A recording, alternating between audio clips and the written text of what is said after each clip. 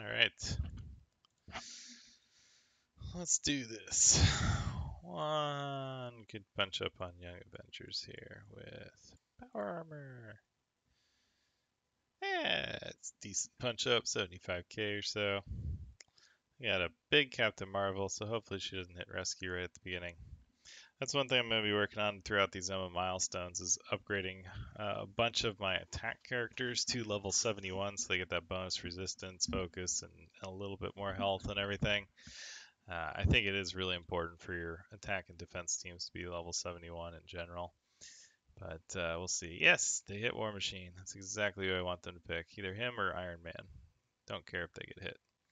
That's perfect. We got the disrupts on them too, so keep the two uh, squishies alive. We're going to try to get the ability block on Miss Marvel to prevent energy generation, which we do. Also removes her one deflect, that she will get another one right away. Hopefully that doesn't kill rescue, or not rescue, uh, what's her name? Gwyneth Paltrow. Um,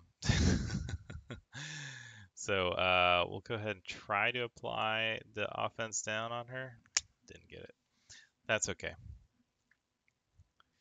Get a little bit of speed here, 35%, and then really um, just need to make sure Squirrel Girl dies, I think, and then we can just clean them up.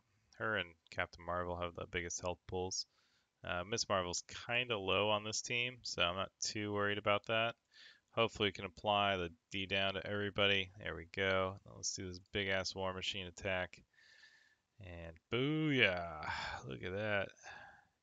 Just 375, 205, just enormous amounts of damage. And then Squirrel Girl's going to do her offense down attack, which doesn't really do anything against power armor because of their immunity. So it works pretty well. And then from here, we're going to clear uh, America Chavez for sure. I don't know if this will kill Squirrel Girl. She doesn't have any buffs, so he doesn't get that second attack. Uh, and then we will zap her. Yeah. Fried her up.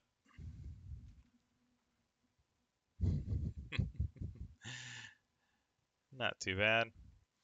I don't really like Young Avengers on defense. I think they're a much better uh, human controlled team. And it's one of those teams where it's like, well, you need to be a little careful about when you do certain attacks and all that. Look at this 551k Marauders. Oof. I don't know. Just crazy. Crazy, crazy, crazy. All right. Well, that was one good attack at least. And uh, knocked off some young Avengers with some power armor. I think this is a really good counter, and I'm happy to use Power Armor in them because Power Armor's kind of fallen off. They don't have a lot of uses anymore just because a lot of teams counter what they do, or they're just so susceptible being, you know, a team with no tank. They can, if they lose rescue, you know, early on, then they're kind of screwed. Losing that offense down in immunity is huge.